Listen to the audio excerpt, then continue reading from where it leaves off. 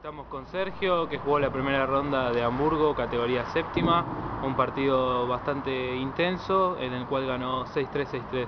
¿Cómo sentiste el partido? ¿Cómo lo viste?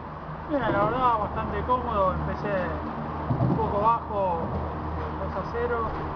Eh, me costó un poco acomodarme, pero bueno, después, como teníamos un juego bastante parecido, empecé a ser más regular y bueno, por suerte me pude llevarlo el partido en definitiva por, por un doble 6 Un partido que casi duró dos horas, un viernes a las 12, con ganas de irse a casa. ¿Algo te apuró para apurar el resultado 6-3, 6-3 o, o jugaste tranquilo todo el tiempo sin fijarte? No, no, no, la verdad jugué tranquilo, estoy tratando de, buscar ser un poco más regular, ya digo, en el juego, poder eh, estar más seguro, porque bueno, ya perdí con un par de adversarios que corren mucho, entonces estoy tratando de tener un poco más de paciencia, así que busco estos partidos para tratar de ganar seguridad en los golpes.